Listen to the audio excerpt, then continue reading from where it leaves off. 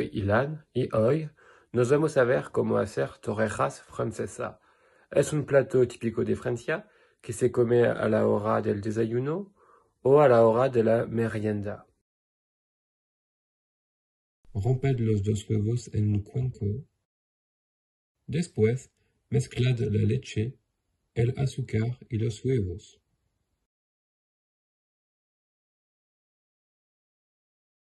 Pon la mezcla en un plato y morado queda al lado del trozo de pan.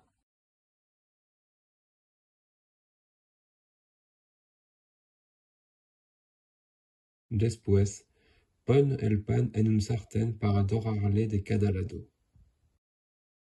Para terminar, añadie el azúcar sobre los trozos de pan y espera que se derrita. Espero que hayas gustado y que aproveches.